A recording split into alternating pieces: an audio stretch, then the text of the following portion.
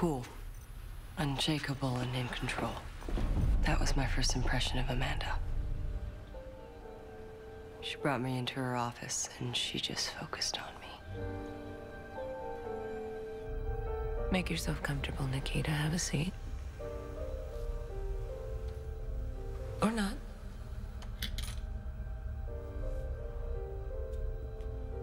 What are you, the concierge? If need be. I can also be an advisor, a teacher, but most of all, a friend. I don't need friends. No, of course not.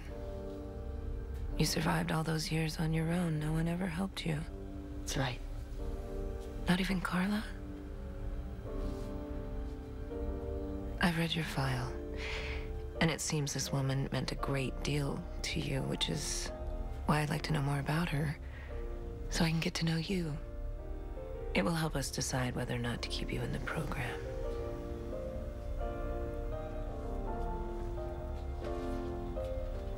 I Haven't seen her since the night I was arrested. She never visited you in prison?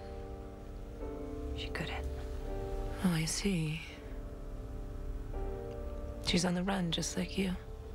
She used to always say that it was fate that we were both running for five years. Or we would have never met. Five years.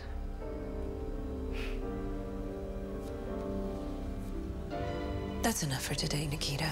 We'll pick this up again tomorrow.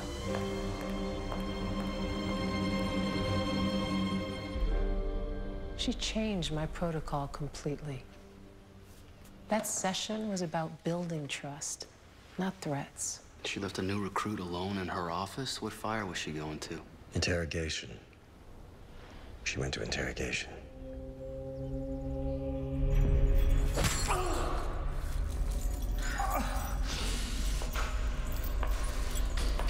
Why did you let Carla go? All I'm asking for is the truth, Brian. The truth will set you free. Carla gave me my life. That's the truth. Amanda, I think we're done here, aren't we? He lied to us about his target. So, she's alive after all, huh? What target? Before your time. What is he doing here? I'm showing him the ropes. Michael has proven to be a top-notch operative, so I'm putting him in charge of agent operations.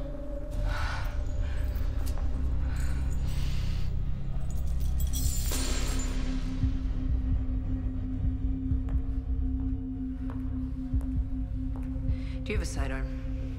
Yeah. Give it to me.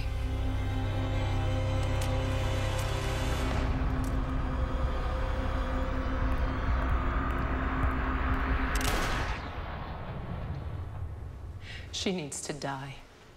We need to kill her. No arguments there.